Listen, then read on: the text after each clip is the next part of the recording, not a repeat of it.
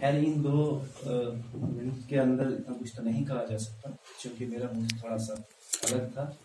अंग्रेज़ी में उसका अनुमान था कि why I am not a post modernist मैं माँ दीजिया क्यों नहीं? उस हवाले से मैंने जिन लोगों को पढ़ा है जो रद्दमल के दो या काउंटर अटैक के तौर पर ज़ाहिर है।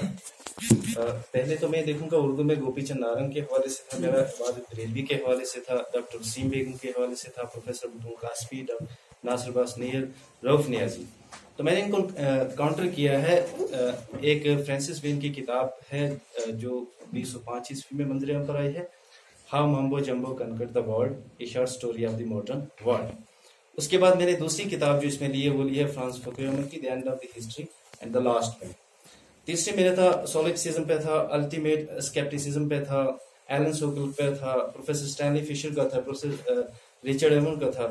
उसके बाद था the desire of the non mentalism यानी कि किस तरीके से माबाज जदीद लोगों ने मंतक पर बेड़ियाँ लगा दी बहुत कुछ कहा गया यहाँ पर कि फन की बुनियाद पर बात की गई है बुनियाद से जोड़ा गया तो कहीं ना कहीं तजाद नज़र आता है। उसके बाद यह है कि पॉलिटिकल करेक्ट कल्चर जो है आइडेंटिकल पॉलिटिक्स जिसको हम कहते हैं। फिर ये uh, सर ने भी बात की थी मलिक सर ने कल उन्होंने कहा कि ज़ुबान की बुनियाद पर किस तरह से कंकर किया गया।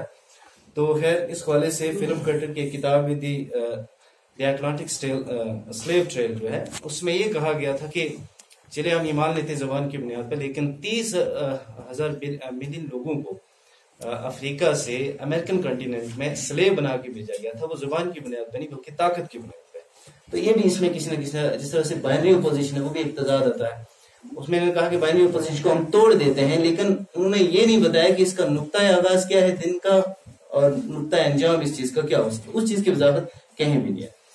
तीसरा मैंने उसके बाद था जिस तरह से आइंस्टाइन की एक स्टेटमेंट एक को इन्होंने दूसरे तरीके से पेश किया, ये कहा कि इससे सेक्सुअल टर्म उसके ऊपर खैर, एलन जे सोकल ने कहा था व्लाडमिन रासिक ने उसके ऊपर एक किताब लिखी, mathematics and roots of the post modernism ये सब चीज़ें मैंने इसके ऊपर इकट्ठी की थी।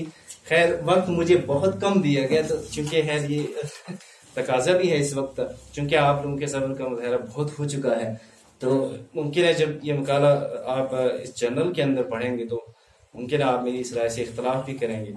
तो मैं चाहता हूँ कि इख्तलाफ होना चाहिए, कि बहुत सारी चीज़ों में तजावत जो मुझे नज़र आए हैं, मैंने उनको जो है वो टॉलरेट किया है। क्योंकि ये भी कहा गया कि ये लिबरल है, ये रेशनलिस्ट है